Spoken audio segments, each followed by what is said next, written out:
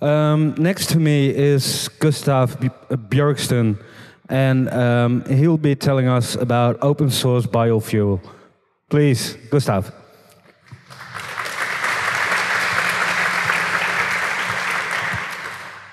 Thank you, and I apologize for the delay. So, um, this talk is about uh, looking at the possibility of very small scale uh, open source uh, biofuel production. Um, so it's just a matter of housekeeping. Life is too short for fancy slides. I hope you like black text on white background because that's mostly what you're going to get. So, what this talk will cover uh, we're fucked, the global context, why we, the people, are the only solution, uh, what it means to obtain personal security in all things, a ridiculously brief history of motorcar fuels, uh, some case studies, Bougainville and Brazil, why biofuels, what those fuels are, what needs to be done to get your car running on them, uh, and a plan to make this part of the revolution. So, we're fucked. We are well past peak oil. That happened a long time ago. Uh, companies are using ever more destructive means to extract fossil fuels, uh, and this is having an effect on the immediate environment as well as uh, a further reaching effect in terms of things like transportation and, and whatever of those fossil fuels. We're also way past 350 parts per million of CO2 in the atmosphere. Uh, that was the level uh, that was set as being the safe point. Uh, we're a long way past that now, and we're in very much uncharted territory. Climate change is here. I believe it's here. Back in my home country, uh, I see evidence of it. Uh, in one state, the state of New South Wales, the disaster recover recovery expenditure has tripled in the last six years. Uh, the 214 expenditure, uh, they had allocated 95 million Australian dollars and they spent 375 million dollars. And just this year, uh, as of April, they had spent the entire year's allocated budget uh, for disaster recovery, and that occurred in a single storm in Sydney. In Victoria, the state I'm from, there's been a drought for 15 years. There's a whole generation of kids who have never seen the many fountains of Melbourne bubbling with water. And after this 15 year drought, there was the first major deluge of water, and it caused a massive flood. And it was billed as a once in 200 years flood.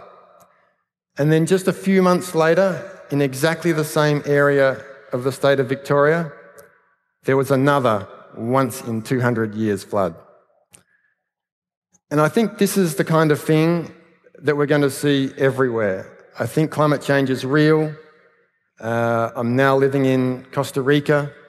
Uh, there's the first ever recorded drought in uh, Guanacaste, the western province of Costa Rica.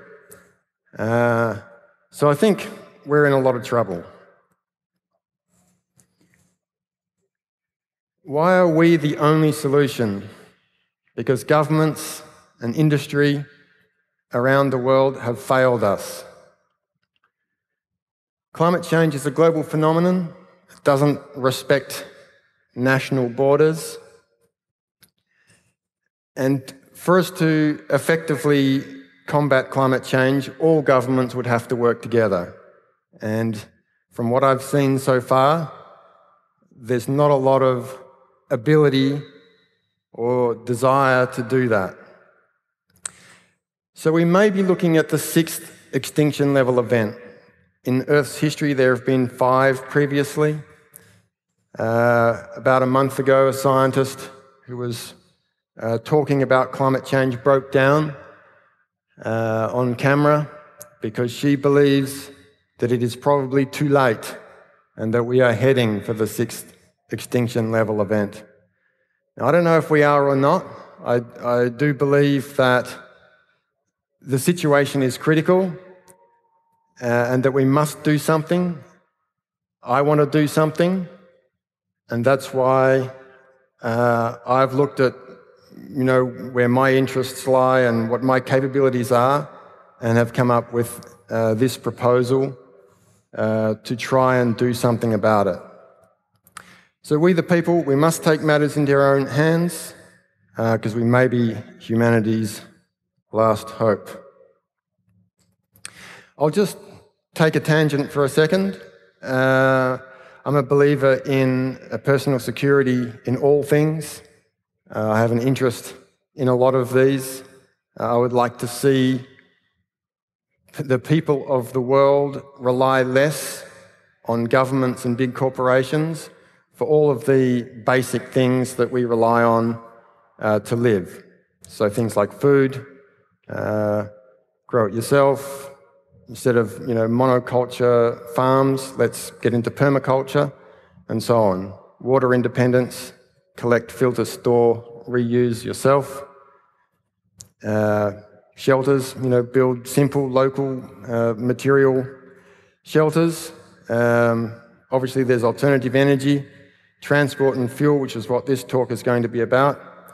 Uh, economic independence, so doing, uh, cutting out the middleman of the big financial uh, organizations, uh, you know, the ones that fucked us over with the uh, global financial crisis. Let's go peer to peer. Let's use cryptocurrencies. Let's, let's create local currencies. And the last one there healing, well being, and evolutionary independence. But let's talk about transport and fuel. A ridiculously brief history of motor fuels. We have this idea that cars run on gasoline or petrodiesel. But when the, uh, the whole you know, idea of cars started, and in the early days of cars, there were experiments with a whole range of different fuels. Steam was the first one. It's difficult to carry enough fuel to get around with steam.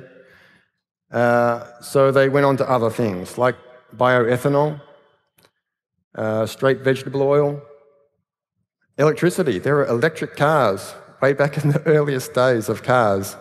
We think of, you know, Tesla as a brand new thing, but not so much. Uh, and cars back then even ran on gasoline and diesel. The 1908 Model T Ford was a flex fuel car. It was actually designed for bioethanol, but it could also run on gasoline. But it was optimized for, for bioethanol. And Henry Ford had a vision. He saw the farmers of America uh, on their you know, average sized farms back in those days of 125 to 250 acres growing one acre of potatoes and using that one acre to produce bioethanol and run all the farm machinery that they required to farm the remainder of their farm. So, this is an old idea. Rudolf Diesel first tried to design engines for straight vegetable oil before moving to petrodiesel. So, again, that's another early inventor that was looking at these alternatives. A couple of stories. The Brazil government uh, has moved. Uh, they actually, you know, legislated and made decisions and, and uh, made the possibility of being a 100% bioethanol country. Uh, they use sugarcane as the feedstock. There's arguments for and against that. You have to grow lots of sugarcane. Uh, there's debates about whether that land could be better used for other things, but the fact is that, that they have done it. All cars sold in Brazil must be flex fuel. And at every gas station, the citizens have the choice of which fuel they want to buy. Gasoline is still available, but every citizen has the choice. If the shit hits the fan and fossil fuels are no longer cost effective or run out or cannot be used because of the effect on the planet, Brazil will be the only country in the world that will be able to cope with that situation. Another interesting case study is the island of Bougainville in the Pacific. They, uh, they had a fight for their independence from New Guinea uh, because there was nothing that really made them, you know, be part, think that they should be part of New Guinea. They weren't culturally part of it. They weren't racially part of it. Uh, it was, you know, Bougainville was just given to New Guinea after the Second World War, like certain situations elsewhere in the world. So they had this fight for independence, and as part of that fight, uh, they were blockaded. Their island uh, was blockaded by the uh, Papua New Guinean Navy with support from Australia, uh, who has uh, mining interests on Bougainville. And so they couldn't get any supplies, including fuel. So they made their own. And they made it with coconuts. They took their coconuts and some very, very, very basic equipment a drum, put the meat of the coconuts in the drum, jump up and down on it until it turns to liquid, put a hole in the bottom of the drum, drain it across some corrugated iron into another process, and so on. And that's the way they were able to brew their own biodiesel and keep their vehicles going and keep their revolution going. And ultimately, they got uh, autonomous rule. So, alt fuels.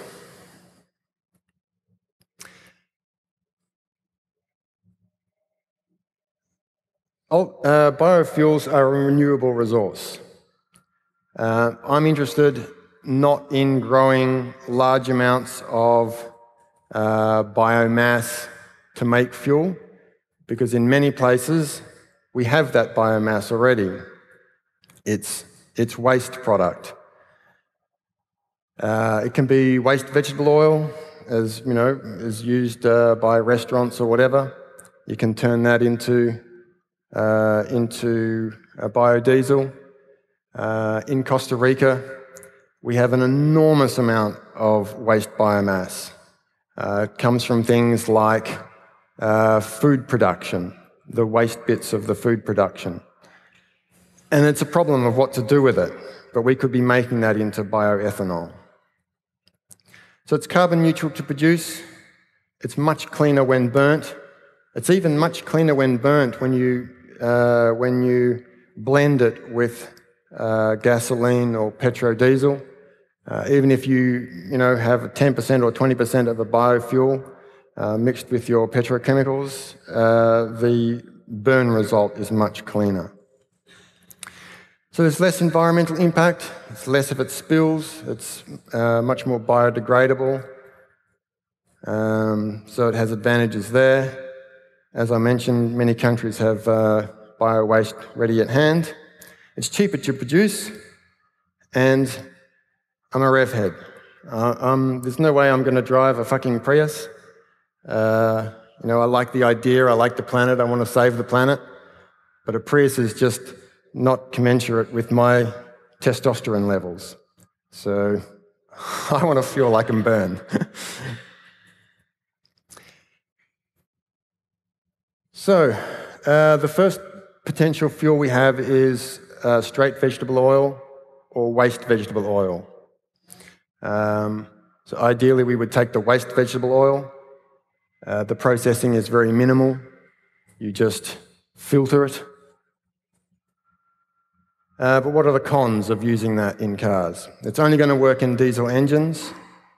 Uh, you have to mechanically modify the cars. Uh, the engine life will be questionable, in my opinion. I've seen some pretty disastrous results over time. And there's most definitely mileage and performance penalties, so not great. You can do blending, that is possible. Uh, again, you know, I think it's less than ideal. Um, just because you know you're putting your, your engine and everything at, at some risk. Um, there's two options you can go for with uh, waste vegetable oil or straight vegetable oil. Uh, a double tank, so you have your normal diesel tank and you add an extra tank and you start driving on diesel. And when the engine and everything is warm, you flick a switch and you change over to the vegetable oil. Uh, you need to do that because you need to heat the uh, vegetable oil to get it viscous enough to actually uh, go through the car and run the car. The, the bigger problem with this is that when you want to stop, so a couple of kilometres before you stop, you need to switch back to diesel to clean out the system. Uh, so if you have to stop suddenly and leave it stop for a while, you might have difficulty restarting. The other option is a single tank, but if you have a single tank, you'll need to also preheat the fuel before you start the vehicle uh, to get it to go, you know, around uh, around the circuits of the of the vehicle.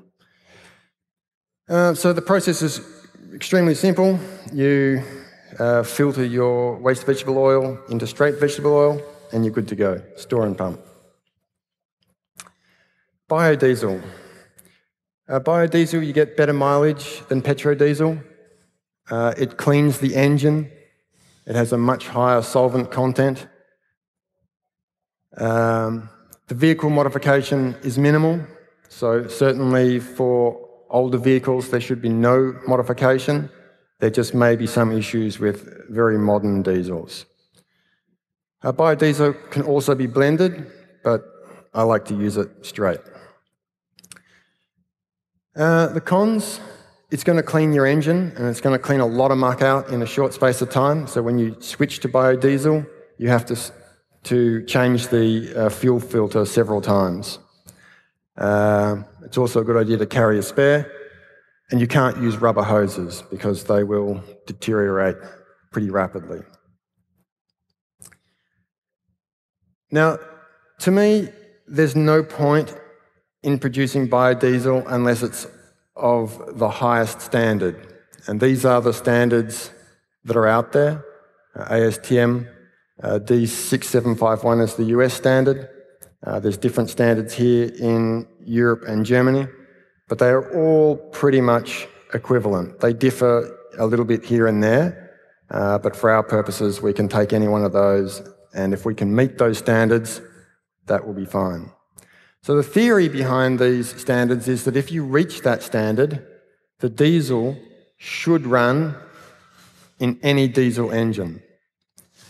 Uh, that's great theory, and you know there was a time I believe when that was true. I'm just not sure that it is true today. So older engines, this is a heuristic rule. Older engines are much more tolerant than newer ones. Uh, certainly, industrial engines are very tolerant. Uh, the industrial generators around this camp that are providing us with all our power, there's absolutely no reason why they couldn't be running on uh, straight biodiesel. My truck's a 91 with a 95 engine. Uh, it's just fine. But, you know, the really modern uh, common rail direct injection diesel engines use extremely high pressures at the injectors. Um, you know, 30,000 psi is not uncommon. And I do believe that some people find that they cannot run on straight biodiesel without having some injection problems. But I also believe that uh, you know, those people can blend with 50 50 and it will work. Unfortunately, I don't have a modern car to test with, otherwise, I would. But uh, we, need, we need more people to, uh, to get into this and test it, and and publish the results. So to make biodiesel, we take a waste vegetable oil or a straight vegetable oil. Uh, we put it through the filtration process if it's waste. So we go through a 600 micron, 400 micron, 200 micron, 100 micron filters. Uh, and then we, we heat it and put it through a, a pressurized 5 micron filter uh, before putting it into the reactor. So the reactor is where we turn that vegetable oil into biodiesel uh, and we, we, uh, we make that reaction occur by uh, using a catalyst, which is methanol and sodium hydroxide. And it splits the vegetable oil into biodiesel and glycerol. So, glycerol can be used for all kinds of things. Uh, it can be used to make soap. Uh, it can actually be used as an input to make another sort of fuel, uh, uh an, you know, ethyl ester-based uh, fuel. Um, it can also be used for all kinds of other things that, uh, you know, glycerol can become glycerine. You mix nitrate with that, it becomes nitroglycerine. You add a gel or a clay, it becomes dynamite or gelignite. But, you know, apart from that, um, let's hope we don't need that for the revolution. Let's stick to fuel. Um, so after we've had our reaction and we've split uh, the, uh, the oil into those two parts, we uh, pull off the glycerol uh, and then we take the biodiesel and we put it through an acid pre-wash. And then we put it through a wash. And then we put it through another wash, or some people call it a dry. And we should end up with our uh, standard spec biodiesel. And then it's a matter of store and pump.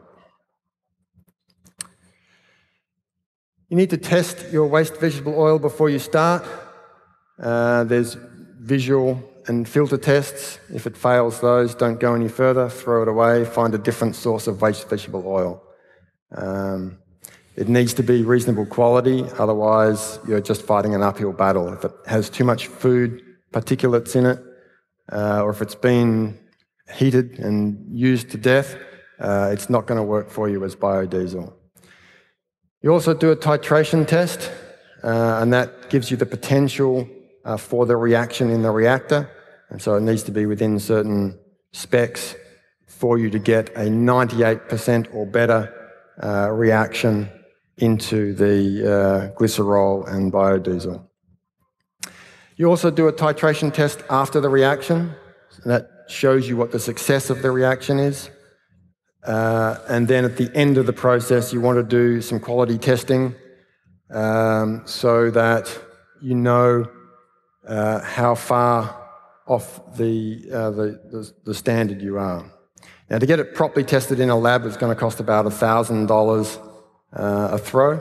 So there are some very basic tests uh, mentioned there, which will give you a good indication of whether you're meeting the standard or not without having to pay that amount of money. So bioethanol, pros. It runs your engine at a cooler temperature. Uh, there may be performance gains for high performance engines.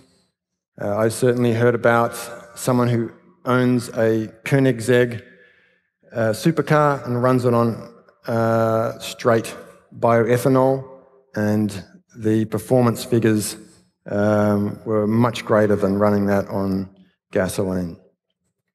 It also has anti knock characteristics, um, but there are some questions about it. Worst gas mileage is certainly one. Uh, the fermentation produces some CO2, so you need to find ways to mitigate that. Uh, you know, since the exercise really is to reduce CO2. Again, can't use rubber hoses, and you may need to tune uh, or modify your ECU uh, to get it to run on bioethanol or be optimized. So the process, I'm not so familiar with bioethanol. Uh, I have a uh, a close friend in Costa Rica who is a specialist in bioethanol. I'll show you his plant uh, in a later slide. Um, but it involves uh, milling. So you take the biomass, you mulch it up, uh, you then cook it and liquefy it. Uh, then you ferment it. So it requires yeasts and enzymes. If it's not a very sugary uh, feedstock, you'll have to add sugar. Uh, and then you distill it and put it through a sieve. If you're doing this commercially, you would add a denaturant. Uh, if you were doing this yourself, you wouldn't have to do that. The only reason they do that is to stop people from drinking it, because it is an alcohol. Uh, and then you store and pump. So biomethanol, I might just really skip through this uh, because there's a lot more unknowns about biomethanol.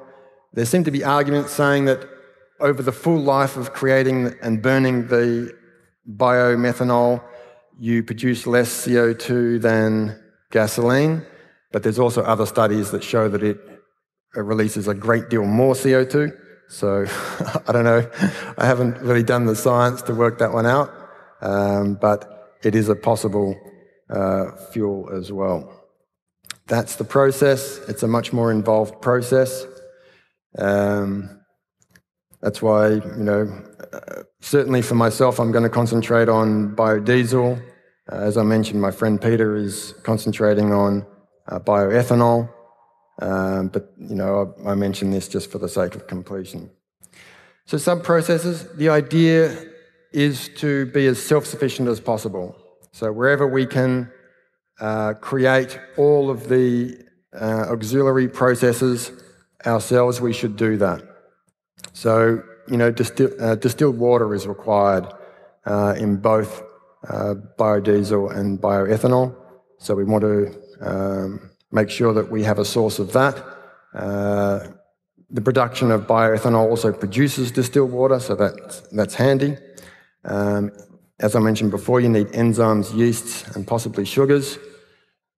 My friend currently is importing that from Europe, but you know, I think that given that we're in Costa Rica, it would be much better if we could source local things that did the same job.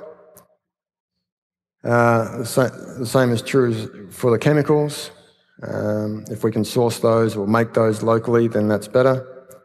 Uh, and heat. This is one that really cracks me up. If you look at YouTube videos of uh, distilling bioethanol, what you will see in almost every video is uh, the use of propane to heat the still. so here we have someone who wants to get away from fossil fuels uh, in their vehicle and produce a biofuel, but they produce the biofuel by burning fossil fuel. So, to me, that doesn't make a lot of sense. So we need to find a source of heat uh, that makes sense. So using that glycerol uh, to create another fuel uh, for the process, something like that would be ideal. Uh, so modern vehicles, 96 and newer, uh, all vehicles have uh, OBD2. They all have the diagnostics port. Um, so the theory is that all modern cars can run on bioethanol, uh, at least as a blend, if not straight. Um, but you know, no cars are optimized for this. Not even flex fuel cars are optimized for biofuels, they're optimized for gasoline. So, uh, you know, there's a lot of work that needs to be done uh, in terms of uh, chip tuning to tune the ECU to work, you know, optimized for biofuels uh, uh, or reprogram to run on biofuels. So, yeah, software only modification, but it'll be interesting to see how difficult or easy that is. Older EFI cars, uh, again, they should all be able to run on bioethanol, uh, but it's a much, much uh, more difficult problem to uh, reverse engineer the ECUs and reprogram them. You know, back back then, there, was, there were no common standards uh, for these things. Uh, I have myself rewritten the ECU of an old GMC truck that was nominally labelled as OBD1. Not that that was any real standard. Uh, and I can tell you it was a lot of work. And really old carburetor cars. So, uh, again, old, old cars can be modified to run on bioethanol. Uh, that link there shows a, uh, a story of someone modifying a 1969 Dodge Dart to run on ethanol. Uh, you, you know, you hack into the carburetor and a few other things like that, and you can get it to work. So how? How are we going to do this? I want it to be cheap. I want it to be small. I want it to be simple to construct and simple to understand. I want it to be built with local materials. I want it where it requires some machining or manufacturing. I want that to be locally sourced and I want the whole thing to be open source. So that's my vision. So cheap. There are brilliant people out there with brilliant solutions. I don't know if any of you are familiar with earthships. These are houses that heat and cool themselves, that treat their own sewage, that grow their own food, uh, that power themselves. They're completely off the grid. They're awesome. The inventor of the earthships claims that he wants it to be a viral thing and he wants everyone to build one. And yet he charges $8,000 for basic plans and 120,000 US dollars for customized plans. so I don't know about you, but that puts it out of scope for much of the world. So I call that a guilt appeaser. If you are one of the 1% in the US and you have polluted the planet plenty, you can now appease your guilt by having your own Earthship. So it's got to be really cheap. I also want it to be small. I want it to be as close to personal as possible. That's most definitely uh, the case with biodiesel. You can make it in very small amounts. It's a very simple process. You can do it in your garage. It's not a problem. Bioethanol mm, is more difficult, and that's, that's what we're starting to, to work on now. But if it's small, if it's personal, you present a smaller target to the you know, petro interests that are out there. Uh, we need to be distributed, much like the internet. Uh, we need personal commitment and buy-in from uh, the people that are going to be producing the diesel. So, you know, I want to see people building it themselves. Uh, and with that model, it'll be very difficult to stop. If we all start making our own fuel, uh, they'll have to start to listen. Simple to construct. Ideally, no specialist skills required. Um, I'd like to see kits offered to help people. I'd like to see people share with other people and support other people. And I would like it to be easy to replicate, so easy to train how to build your own personal processing plant. Local materials, as I mentioned before. Uh, so just, you know, instead of shipping things from halfway across the world, let's try and do all this wherever you are. Same for machining and manufacturing. Uh, I mean, biodiesel is pretty basic. It's, you know, regular plumbing parts. Uh, but for bioethanol, it's a bit more complex. So we're looking at you know, using the advantage of technology to solve those problems. Uh, Fab Labs are really popular in Costa Rica. There's a lot of really good, really well kitted out uh, Fab Labs, and so we're looking at how we can reduce the cost by, uh, you know, assembling the parts ourselves, the complex parts, uh, using those facilities. And open source. We all know why open source is good. It's resilient uh, to legal challenges, no one to sue, no barrier to adoption, it's a level playing field, and it has true potential for viral growth. Now, there are plans out there that meet all of that criteria. So cheap, small, simple to construct, simple to understand, built with local materials and local machining, but it's not open source. Uh, but I do mention it here because I think that it's a good place to start. I'm not associated with these people at all. Uh, it's utahdieselsupply.com. So the plans are from a couple of hundred dollars to about $800, and you can build the plant uh, for about 1,000 to $10,000. This is one made with a hot water unit. Uh, this is a reactor, so you just keep the heating element in it. Uh, you know, add some plumbing, and away you go. There's one there. Another one. This is the next one up. It's made of a couple of 55 gallon drums. You just weld them together and, uh, and solve the problem that way. You can find 55 gallon drums just about anywhere in the world uh, and some basic welding skills and you're away. This is the one I like. You take these uh, propane tanks. Uh, propane tanks usually uh, are highly regulated and they have a lifespan. And when that lifespan is over, um, they usually sit somewhere and rust. But if you can get your hands on them, you can turn it into this, which will produce about 250 gallons of biodiesel a day.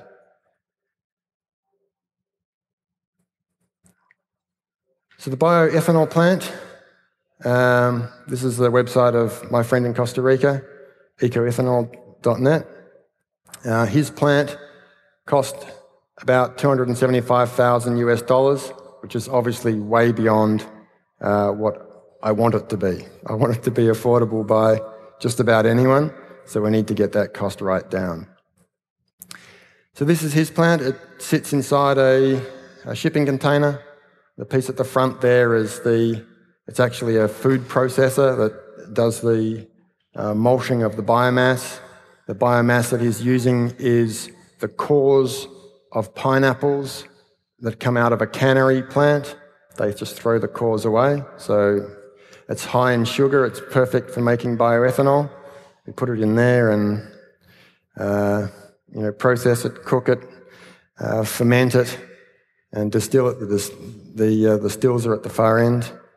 Um, that's the stills there, and uh, you can produce bioethanol. Testing station, make sure the quality is there. So I see our role as hackers uh, to create, facilitate, militate, and rehabilitate, or SUFMR for short. Uh, in the creation process, we need concepts, the processes, the plans, you know, from the whole plant to the smallest component, uh, the software. Uh, we need to package this in a way that we can distribute easily uh, and outcreate those that have an invested interest in the problem. Facilitate. So, this is about uh, providing materials where we can, uh, assisting with fabrication where that's required, doing ECU pro programming and giving away the, uh, the code and the uh, instructions and so on for free. It's about producing kits, sharing and supporting each other, training each other, and having fun. Militate. Tell your friends, clump together.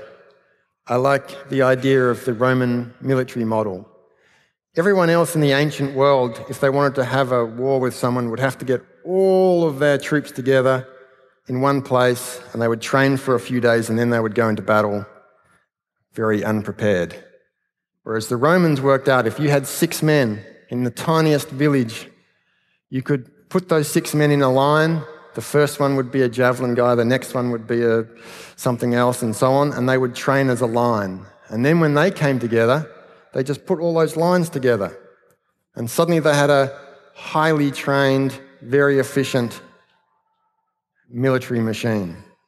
We want to do the same uh, with this kind of thing. So, in small groups, get someone who's good at car hacking. Get someone who is more interested in the fuel side. Uh, get someone who has a real interest in chemistry and so on, and clump together and, uh, and make it happen. Lobby government, campaign, advocate, never hurts to do that. Promote what you're doing. I think this is what the revolution might look like. And rehabilitate. So assist those in fossil fuels to repurpose their infrastructure, capital, and energy and resources into something that will help humanity, not harm humanity. I think if we get started, they'll have to follow. So let's get started. Forgive. Give back. That's a permaculture principle. So share your experience and your knowledge, pay it forward.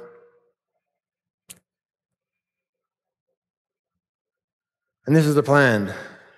The plan from here is to, uh, to set up a lab for biofuels experimentation.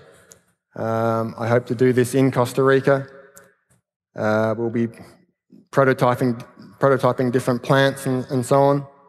Uh, we'll be looking at vehicle modification. We've already started gathering data for that. We've worked out what are the most common models and makes uh, in Costa Rica, so we know where to start with that. We need people to contribute all these things biofuels expertise, uh, sourcing of uh, waste biomass, engineering of components, uh, fabrication labs, ECU hacking, car mechanical expertise, and funding where appropriate. A note on legality. Um, I don't know what the le legal status of doing this is in wherever you come from. Uh, what I do know is that in the USA and New Zealand, it's very straightforward. You just apply to the federal government for a license, and uh, pretty much within a couple of weeks, you get it sent in the mail and you're away. Uh, your mileage may vary elsewhere. I don't know what the regulatory environment is like here in Germany, uh, but it is an eco friendly country, so I would hope that it would allow for this possibility. Uh, if you do know the legal situation, please let me know. Uh, I would like to be able to gather that information and, and publish it. Okay, questions?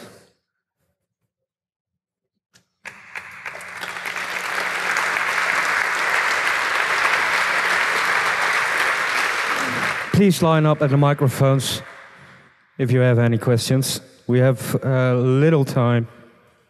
Uh, thank you for your talk. And I want to add that running a car on uh, oil is perfectly legal in Germany because there's a community who tried to run cars on rape oil maybe 10 years ago because the prices of rape oil went up. I also had a car that ran on rape oil. It was a, a BMW E35 with a 525 TDS engine because it has a pre-chamber engine. And these engines were built until 1999. And this car died because the synchronization chain broke. BMW told me that I, if I asked about uh, changing the chain because the car had 300,000 kilometers, they said, no, you don't need to change it. It lasts an engine life. And so it lasted another 20,000 kilometers and then the engine broke. And so, um, but um, there are some drawbacks because you need to uh, completely redo all the sealings in the uh, injection pump and you need to re, uh, re reheat the fuel because otherwise you will break the injection pump. So it's not that easy, but you can do it with a heat exchanger that heats the fuel from the coolant water.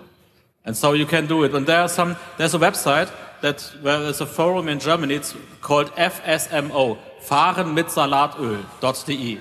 And They did a lot of experiences, and the best cars to do to to use are the old Mercedes cars that have uh, um, inline uh, injection pumps. So you have maybe if you have a six-cylinder car, you have six uh, uh actual pumps in in a line, like a like a truck.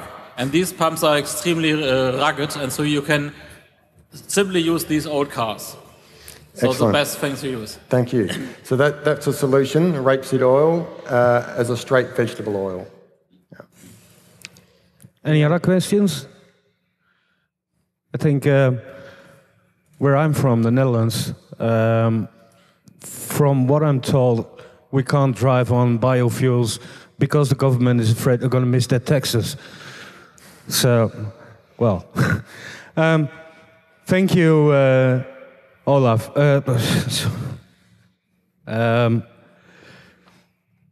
thank you, Gustaf. That's the name. Great talk. Uh, I would like another round of applause for him.